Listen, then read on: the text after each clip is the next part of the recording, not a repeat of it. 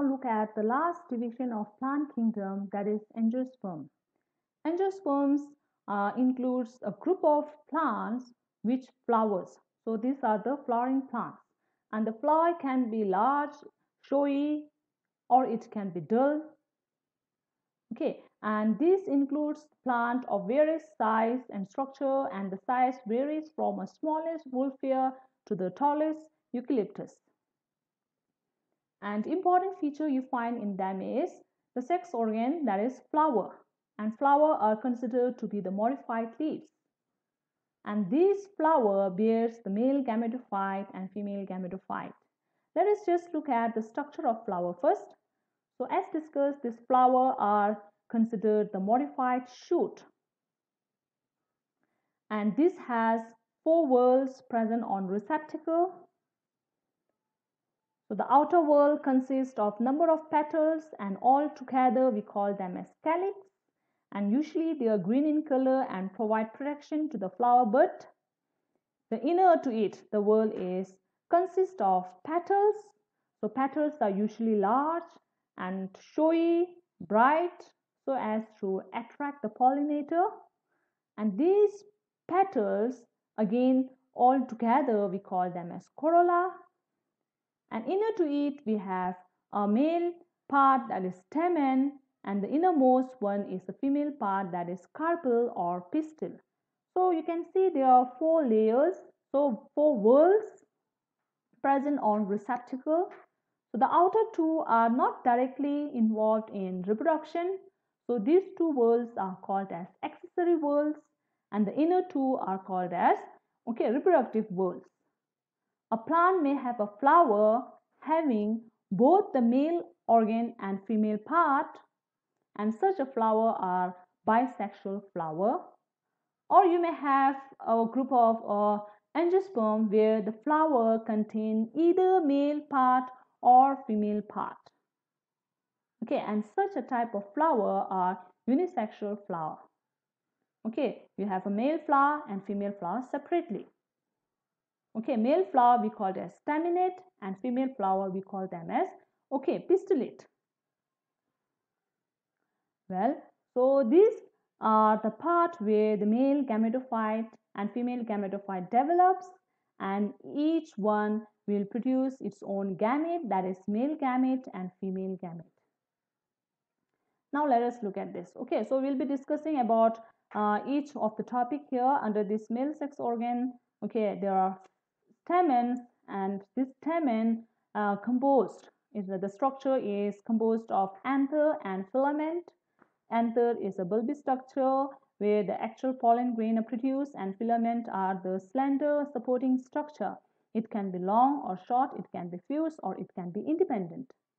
Okay, so inside this there is a formation of pollen grain that is male gametophyte. Okay, so male gametophyte are produced in the stamen. So let us look at uh, each point with the help of this picture. Likewise, same in the case of female. So here, as discussed here, in the case of flower, we have a female part and the male part. Female part, we call it as gynoecium or the carpel and male part, we call it as, okay, androecium. So talking about male here, the androecium or the stamen, as discussed, it has a filament, long slender filament and a anther and it is in the anther where the pollen grain develops. Okay, so uh, in the case of anther, if you take a cross section of it, you find four microsporangium, four microsporangium. And each microsporangium contains number of microspore mother cell and the structure of this microsporangium, the detailed structure of this, we'll be studying in 12th standard. Okay, right now let us just see the process of microsporogenesis and development of pollen grain. Okay, so this microspore mother cell present in the microsporangium. So there are four here. Okay, so it is all along the length of the anther. Okay, it's just a cross section of it. Now, this microspore mother cell, it is diploid. The angiosperm plant body are sporophyte.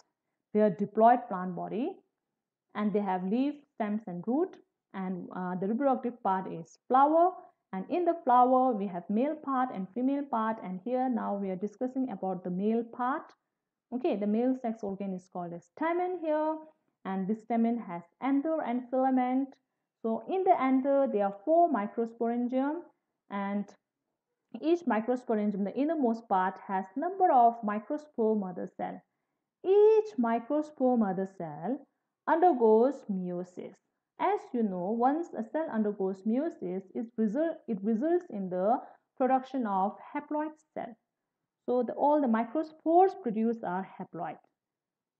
We also know that one cell undergoing the number of cells here, one cell if it undergoes meiosis, it gives rise to four microspores. So one microspore mother cell undergoes meiosis to produce four microspores and all the spores are haploid. And the process of formation of microspore is called as microsporogenesis. And all the four microspore will further undergo cell division to give rise to male gametophyte or we can call them as pollen grain.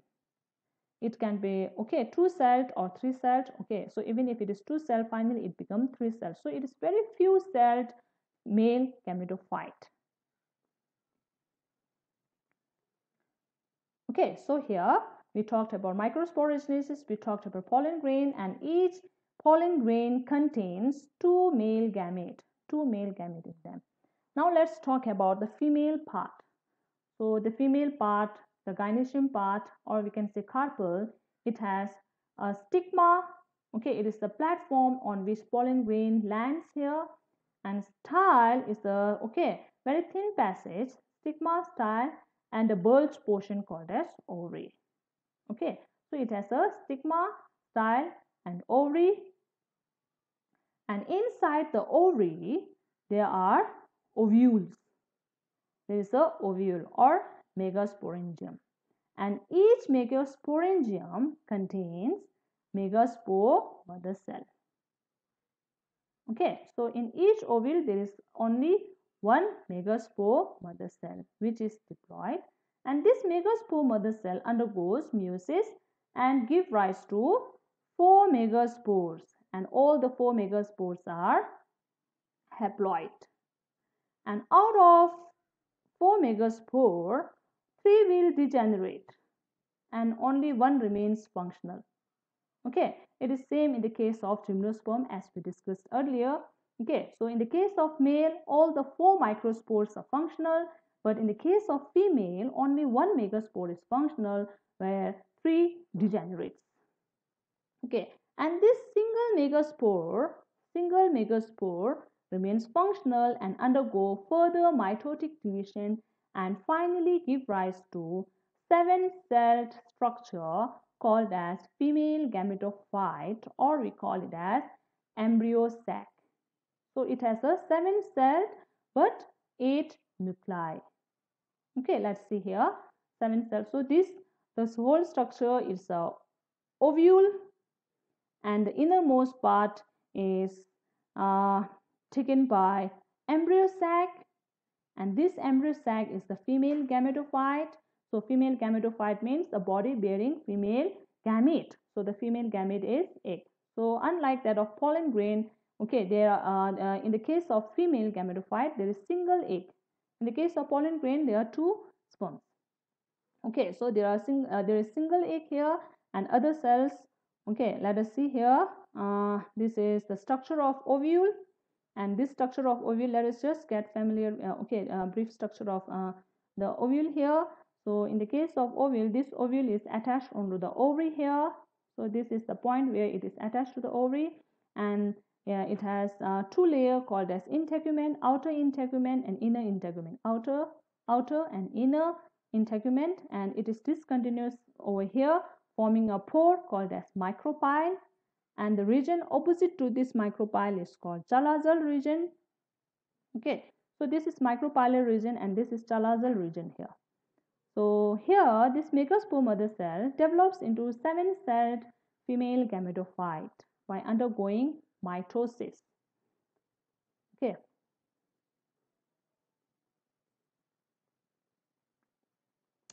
well so here uh, there are three cells towards the chalazal end which we call them as antipodal cells. And there are three cells towards the micropylar end we call them as egg apparatus. And this egg apparatus contains one egg and two synergids two synergids. So we have a total of six here. Now here this is the central cell. Okay. And this central cell contains two nuclei two polar nuclei so here if you count the number of cells there are only seven. Three antipodals three egg apparatus and one central cell.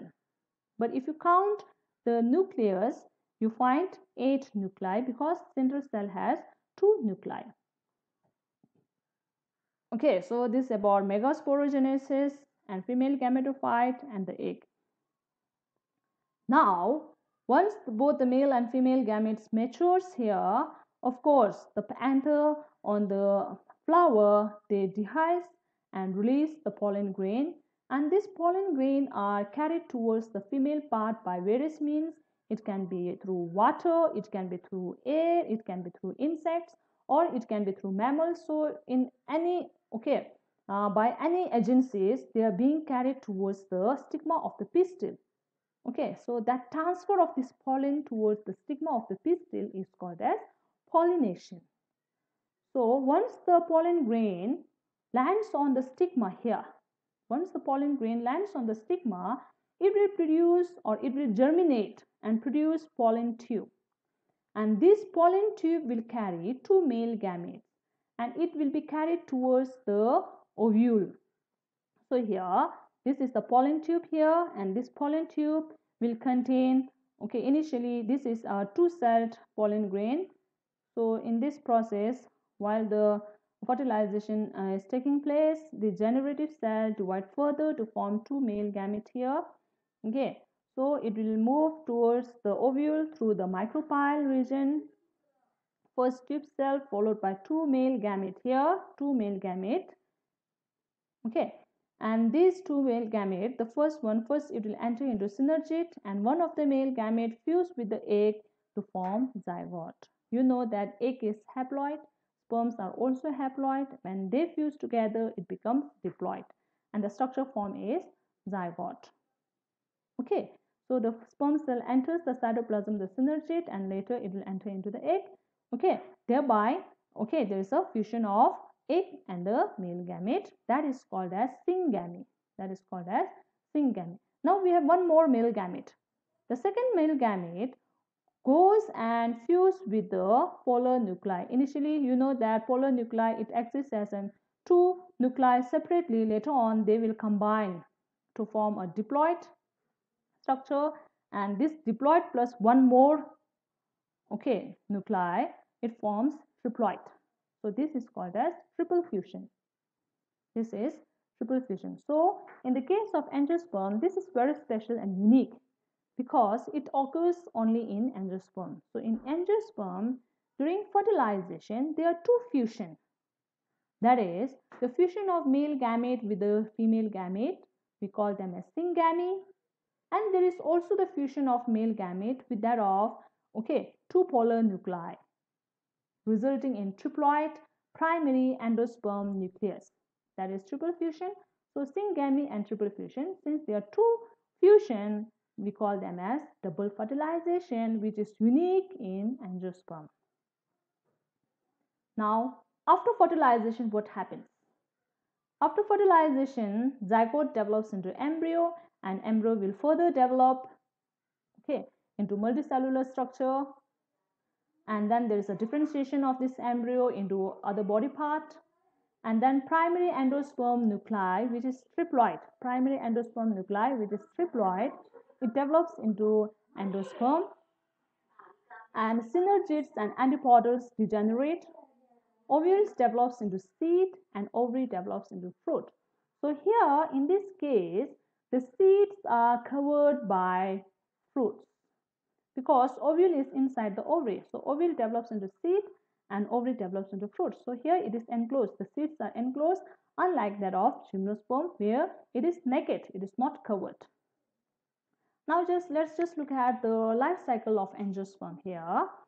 so this is a plant and this is a plant uh, reproductive part flower having male part and female part.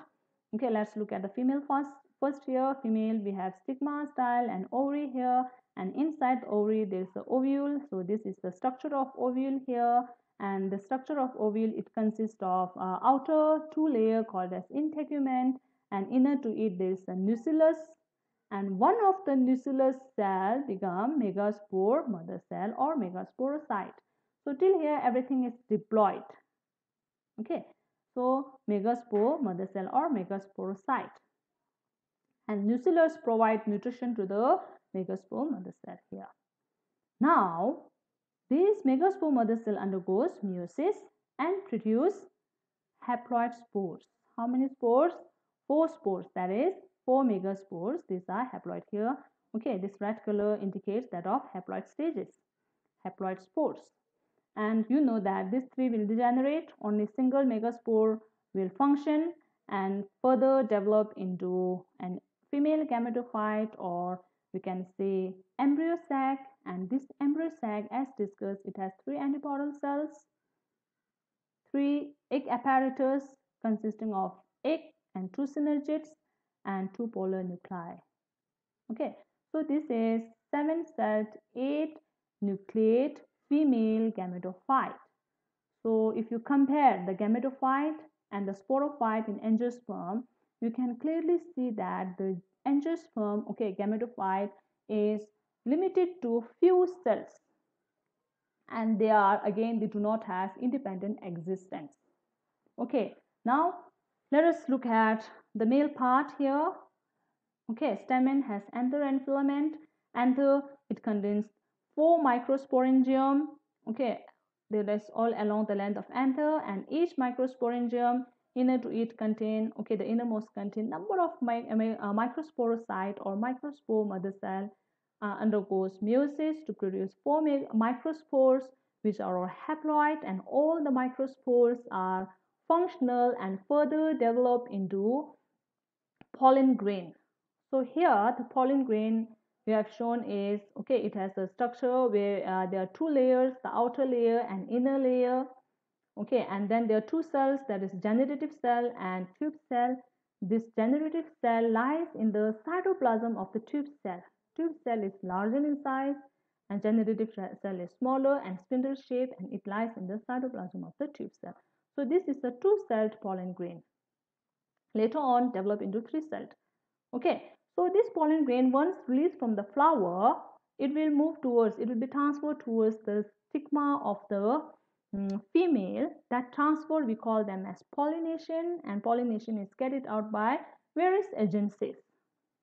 Okay, once it lands on the stigma, this pollen grain germinate to produce a tube, okay, that is pollen tube and then there it has two nucleus. Generative cell will undergo one more mitotic division to give rise to two cells or you can say two sperms here. And then here later what happens is pollen tube germinate through the stigma style and reaches ovary and then towards the ovule and later on leads to fertilization. Okay, since here there are two male gametes, one sperm fused with egg to form zygote the later one fused with two polar nuclei to form endosperm nucleus that is primary endosperm nucleus and you can see two fusion. The first fusion that is male gamete with the egg we called it as syngamy resulting in formation of a diploid zygote and the second one is that of mm, uh, male gamete second male gamete fusing with two polar nuclei results in the formation of a triploid uh, primary endosperm nucleus okay that is triple fusion since there are two fusion we call them as double fertilization which is unique in angiosperm okay so all these things happens inside the ovary here ovary and uh, ovule which is inside the ovary here and later on this zygote will develop into embryo and this primary endosperm nucleus will develop into endosperm which in turn will nourish the developing embryo and this developing embryo of course we know that it's inside the ovule. And after fertilization ovules develop into seed. So this embryo are present in the seed. And once it matures and gets the proper medium and surrounding it will germinate to give rise to a new sporophytic plant body. Okay so this is the life cycle of angiosperm. Now this angiosperm based on again various criteria or various uh, features it is classified into let's say two classes. Under this uh, that is uh, dicotyledon and monocotyledons. Okay so let us just look at the difference between these two. Monocots. Okay that is cotyledon is a part of embryo in a seed. Cotyledons are present in the seed so monocot includes that of uh, grains like rice wheat. Okay they have a single cotyledon. So monocot and talking about the dicot there are two cotyledons. So you must have done experiment uh, or observation with that of a uh, gram seed or pulses where uh, you find two fleshy cotyledons. Okay so cotyledons. And if you look at the leaf again you can easily differentiate between dicots and monocots monocots okay the venation the arrangement of the veins they are parallel but in the case of dicots the venation is net like it is reticulate. Okay another way to find the difference uh, uh, or you can find uh, another way to find whether the plant is monocot or dicot is by taking the cross section of a stem. If you take a cross section of a stem and mount it under the microscope and observe you'll find that the vascular bundles that is xylem and phloem if it is like uh, scattered then uh, this uh, plant are monocots and if it is in a ring shape proper ring shape then these are dicots and the next way to find is you just uproot the plant. If you see that plant has a distinct primary uh, root and then the other lateral root here like this and this is taproot such a type of root is taproot and taproot is usually found in dicots and if you find fibrous like this if you uh, don't find any um, let's say uh, primary root here then uh, it is a fibrous root system which is a characteristic feature of monocots. Now the next is floral parts. That is okay sepal uh, or, uh, sepal corolla and stamen and the gynoecium so if you count the number it can be multiple of 3 it can be multiple of 4 it can be multiple of 5 so if it is multiple of 3s then they are monocot. Monocot you have a floral part in multiple of 3 so here example in this uh, let's just look at the perianth here.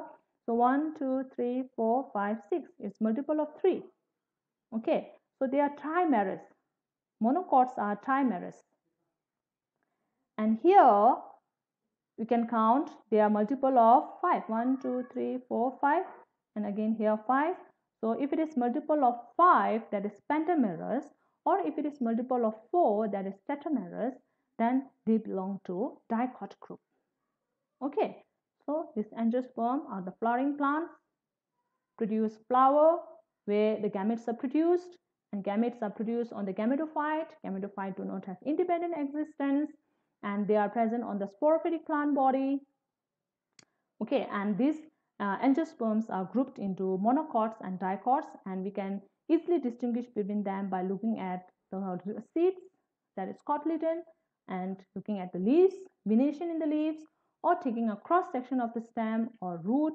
And again we can look at the floral parts. You can just count the number and then say whether they are monocots or dicots okay now next is life cycle and alternation of generation in plant. So in the life cycle of a plant, the life cycle of a plant, okay, and especially thereof, okay, so it can be any plant which produce a sexual reproduction, there is the alternation of generation between gamete producing haploid gametophyte, haploid gametophyte and spore producing diploid sporophyte. So that alternation, we call it as alternation of generation.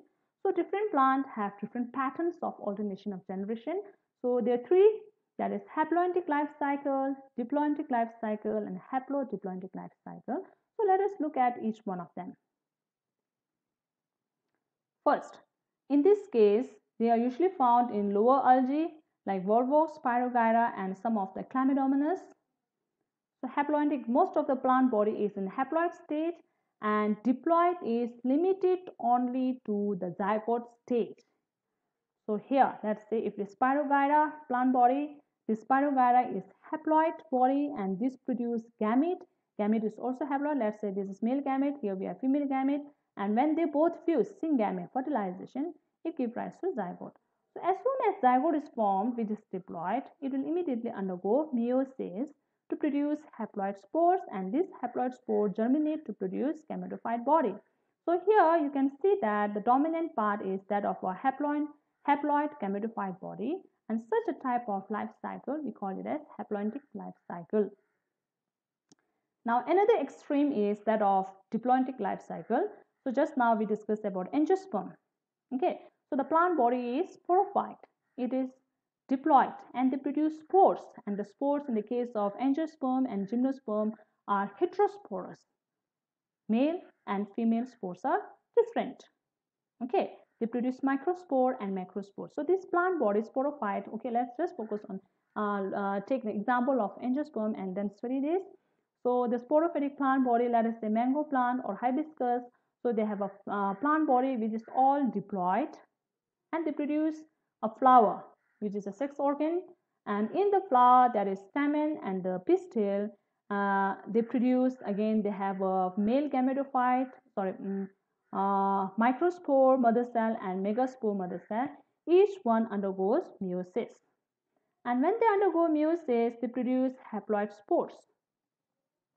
Okay and this haploid spore further undergo development to uh, become uh, haploid gametophyte so in the case of male, that is pollen gametoph uh, sorry pollen grain as a male gametophyte, and this pollen grain is only three celled. And in the case of angiosperm, uh, female gametophyte is embryo sac that is seven celled. Okay, so the gametophyte, the cell is limited to few in the case of angiosperm, and in the case of gymnosperm, the female is multicellular structure, but still again they do not have independent existence. And these gametophyte produce gametes and the gamete fuse to form zygote and zygote will further undergo mitotic division to produce a full-fledged plant that is sporophytic plant body having root, stem and leaves.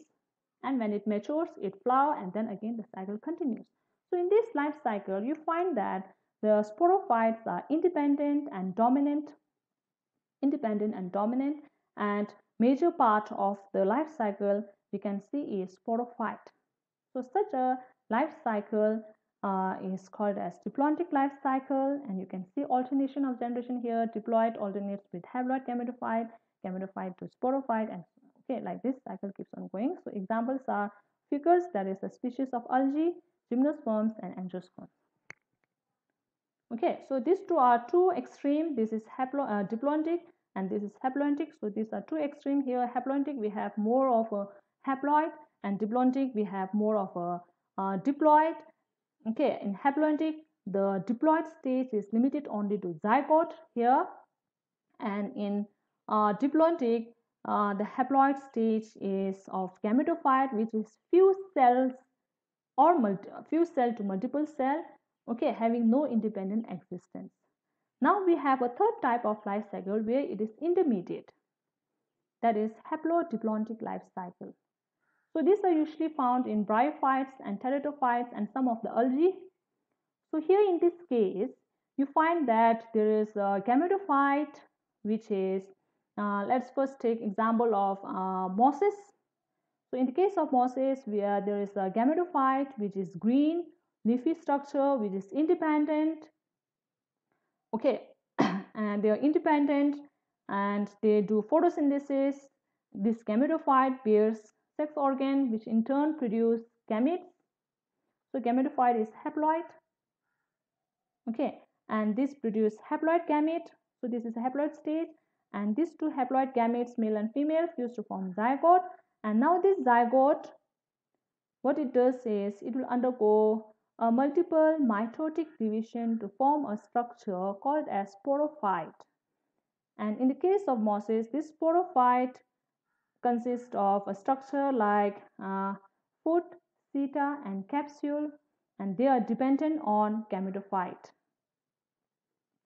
And this sporophyte after uh, it matures some of the cell in the sporophyte undergo meiosis to produce spores spores will germinate to produce again the gametophytic plant body so here you can see again the alternation of gametophyte body and sporophyte body here.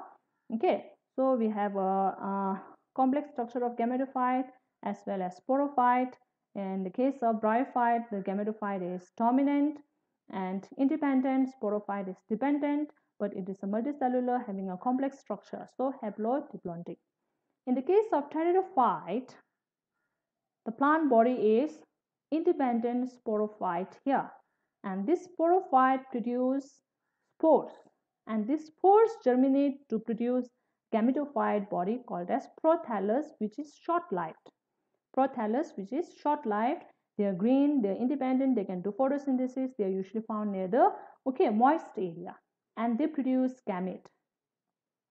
And gamete fuse to form zygote zygote to sporophyte and the cycle continues like this. And here you can see both the gametophyte complex okay gametophyte and sporophyte such a type of life cycle which is intermediate we call it as haplodiplontic life cycle. Okay so that's all about it. Now let us just recapitulate what we have learned in this third chapter. Okay let us uh, uh, summarize we can say. So the plant kingdom classification. The plant kingdom classification. Okay there are uh, three uh, sorry five divisions. Five divisions that is algae bryophytes pteridophyte gymnosperms and angiosperm. And we have discussed each one of them. Like for example in the, under algae we have chlorophyceae green algae brown and red. Okay and all these color are because of different pigments. And again we can see certain differences. Likewise bryophytes we have liverwort and mosses and then pteridophyte we discuss about them. And then this one okay some examples we have taken we have not uh, discussed in detail each one of them but still uh, the overall general features and the uh, life cycle of pteridophyte are discussed. Gymnosperm again we discuss about its morphological structure reproduction and then um, life cycle. And finally angiosperm we discuss about again here and then we classified them into dicots and monocots so some examples of dicots are sunflower mustard pulses okay and some of the monocots are grasses and cereals. Okay so that's all for today. Thank you